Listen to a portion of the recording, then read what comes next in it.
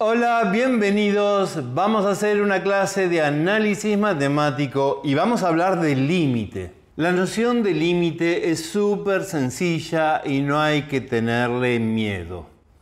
No la vamos a usar en este curso de física elemental en el que rara vez vamos a tener que utilizar esta operación. Y yo apenas la voy a usar una sola vez para explicarte qué son las derivadas. Pero aún así, quédate, es posible que te sea de utilidad, incluso que te divierta. Son apenas 10 minutos. La idea del límite es esta. Aproximate tanto como puedas al número 3. ¿Tu respuesta? Está muy bien, pero podés acercarte más. Mejor aún, pero vos podés acercarte más. Dale, dale con más confianza. Más todavía. Eso. Bien. Esa es la idea del límite.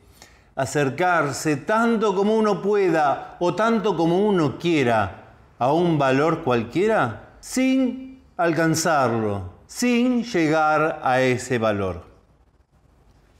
Mira, el concepto de límite es tan pero tan sencillo, pero al mismo tiempo tan abstracto que no es fácil definirlo. Yo te voy a dar una definición, pero entre nosotros. Es una definición grosera, es matemáticamente reprochable. Te ruego que lo mantengamos en secreto. La definición es esta. El límite es una aproximación infinita.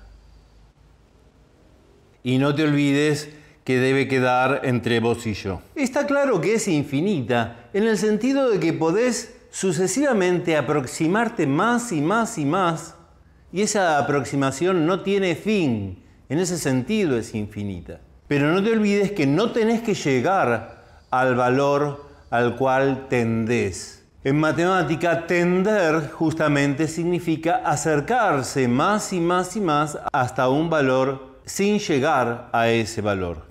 En nuestro ejemplo, el límite se expresaría así. Esa es la notación y se lee límite para x tendiendo a 3 de x. A veces, pero no siempre, se pueden resolver los límites. En nuestro caso es muy sencillo y sería límite para x tendiendo a 3 de x igual a 3, claro que sí. O sea que resolver es llegar al número al cual se tiende.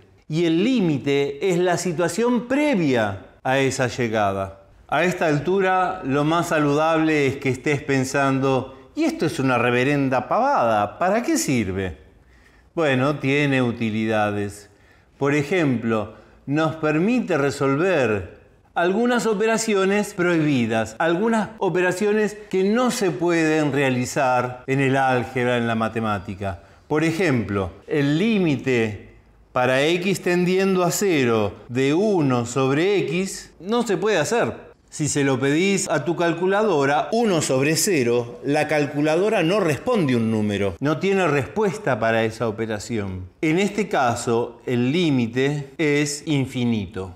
Y si vos te tomás el trabajo de aproximar x al número 0, como lo hiciste antes con el 3, y haces la cuentita, vas a ver que el resultado crece infinitamente a medida que vos te aproximás infinitamente al cero.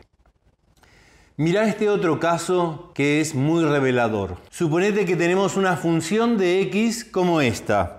Función de x igual al cociente entre x al cuadrado menos 9 sobre x menos 3. Esa función no tiene solución cuando x vale 3. El numerador 3 por 3, 9 menos 9 es 0. Y el denominador 3 menos 3 también vale 0. Y 0 dividido 0 está indeterminado. No tenemos para dónde agarrar. Y acá nos ayuda el límite. Fíjate cómo operaríamos. El límite para x tendiendo a 3 de x cuadrado menos 9 dividido x menos 3, eso sí tiene solución y vale 6. ¿Y de dónde saqué ese resultado, ese valor 6? Bueno, básicamente tenemos dos maneras de hacerlo. Una es la que hicimos antes con el número 3 de aproximarnos infinitamente. Acá también podemos irnos aproximando cada vez más cerca y mientras tanto hacemos la cuenta. Por ejemplo, ¿qué tal si nos acercamos a 3 con el 2,9? Si hacemos la cuenta donde x vale 2,9 al cuadrado menos 9 dividido 2,9 menos 3, si haces la cuenta obtenés 5,9. Acerquémonos más. 2,99. Volvemos a hacer la cuenta y el resultado da 5,99. Acerquémonos más. Supongamos que x vale 2,999. Hacemos la cuentita y ahora el resultado vale 5,999.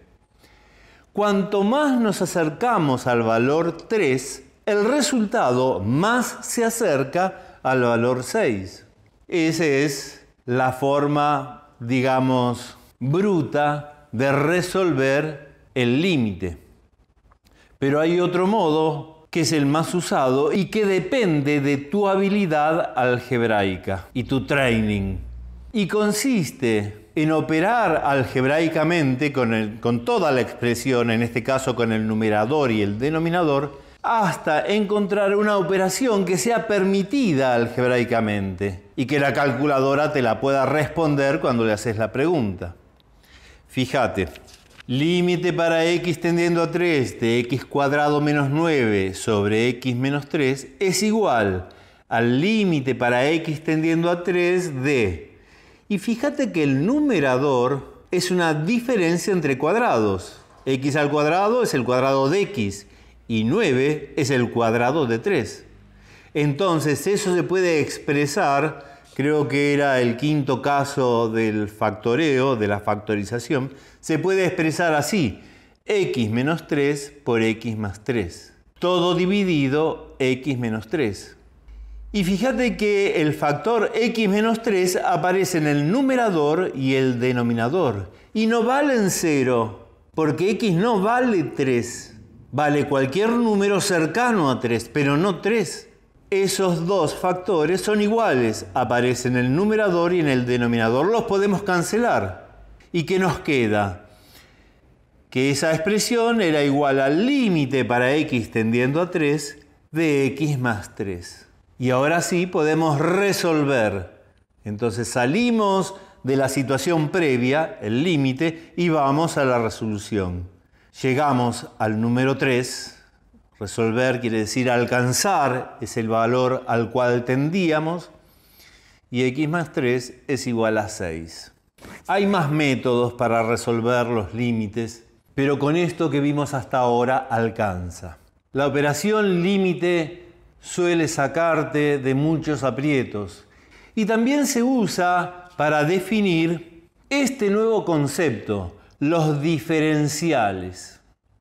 Fíjate, si yo escribo límite para x menos x0 tendiendo a 0 de x menos x0, o sea, la diferencia tiende a 0, eso es lo mismo que decir límite para x tendiendo a x0 de x menos x0. Te das cuenta que son expresiones totalmente equivalentes. Ahora, las diferencias x menos x0 suelen denominarse delta x. Entonces eso también lo podría expresar así. El límite para x menos x0 tendiendo a 0 de x menos x0 es igual al límite para delta x tendiendo a 0 de delta x. Y eso no es otra cosa que la definición de diferencial, que se simboliza dx o también así con esa d un poco más estilizada, diferencial de x. Y representa una partecita muy pero muy pero muy pequeñita de un valor x que puede representar cualquier cosa, como vos bien lo sabés. Los matemáticos suelen llamar a eso infinitésimo cosa muy, pero muy, pero muy pequeñita, tan pequeñita que casi vale cero, pero no es cero, infinitésimo. Cuando yo era estudiante lo llamábamos pendejésimo, pero es medio grosero, olvídalo. de modo tal que cuando vos encuentres cualquier cosa que multiplica a un diferencial, eso no vale cero. Y además de no valer cero, permite seguir operando con el diferencial y aparecen cosas maravillosas. Bien, eso ha sido todo para esta clase. Te agradezco la atención y nos vemos en el próximo video.